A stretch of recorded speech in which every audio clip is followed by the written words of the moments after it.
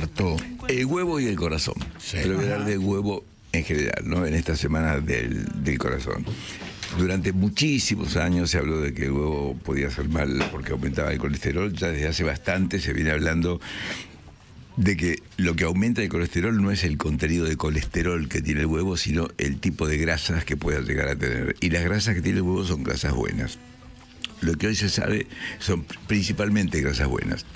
Eh, tiene un poco de grasas saturadas, que son las, las animales, las más parecidas a la manteca, Mm. pero esa es la mínima parte. La, la mayor parte es parecida al aceite de oliva, que es el más protector del, del corazón. Después tiene efectos que son antiinflamatorios, antioxidantes, ayudan a adelgazar porque regulan las hormonas del hambre y de, de la saciedad. Tiene la proteína de, de- de mejor calidad, que son las que mejor le hacen al cuerpo.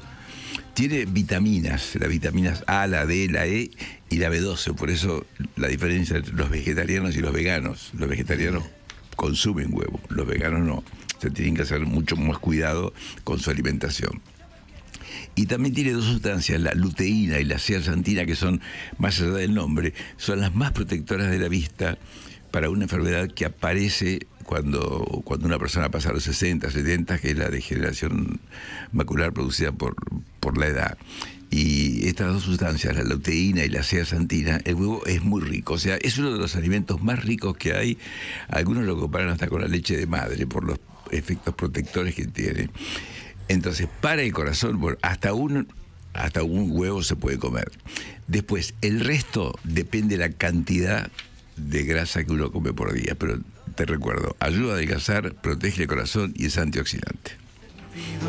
Acércate a cualquier